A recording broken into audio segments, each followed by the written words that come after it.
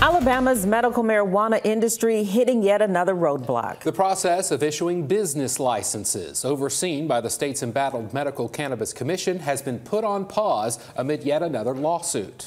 The companies that filed the suit accused the commission of awarding, of awarding businesses uh, business licenses illegally during secretive closed-door meetings. Political reporter Aaron Davis is following this case. And Aaron, what does this mean for companies who were previously given a business license?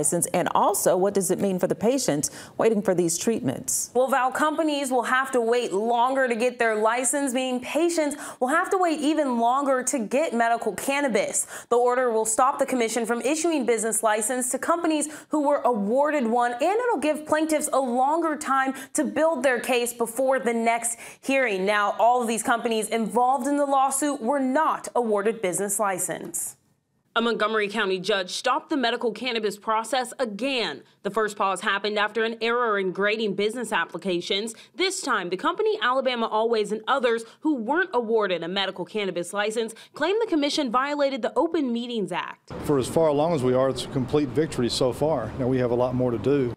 During the latest meeting, the commission did meet behind closed doors for four hours during an executive session where each member nominated their preferred companies. The state's lawyer told the judge it would have been impractical to do otherwise. We had a number of pass-fail issues, background checks, and issues that were all part of this decision to begin with, and those are the kind of things you, you know, you you hate to just lay it out there, but they keep insisting, so they may get to whoosh.